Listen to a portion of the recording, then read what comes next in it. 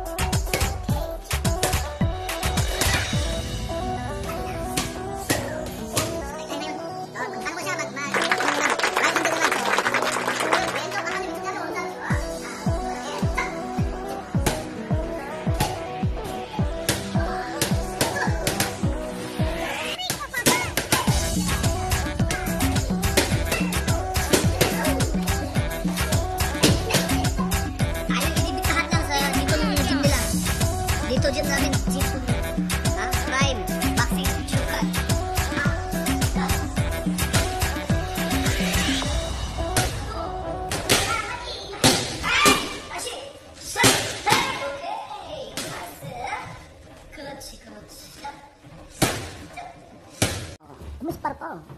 Umispar pa, oh. 55 years old. Ha? Siguro yung mga 55 ko sa. Oh, nice body! Nice body! Oh, wow! Sirbiyo na ito, Tonte. Kung anong sparring na kanina. Anong na eh? Kaka sparring. Odi sa'yo? Odi apa sa'yo? Odi apa sa'yo? 어깨 건가요? 아, 나이 먹고 그래요. 힘들었어? 아, 그럴 수 있죠. 어, 그냥 솔사오만 솔사오해. 솔사오해. 우리 아마 이태 할게요. Ah, yung sparring daw kanila kanina, interview ko, sinabi ko na kung saan ang masakit sa kanya. Sabi na, sakit ng balikat niya daw. Sabi ko, matanda ka na kasi. Kaya batawa na siya. Napapagod daw siya. Siyempre, no, tino, tino mo. Wala ano pa oh. Nagsisit pa. So, hanggang dito na lang yung video ko. Salamat. Adios!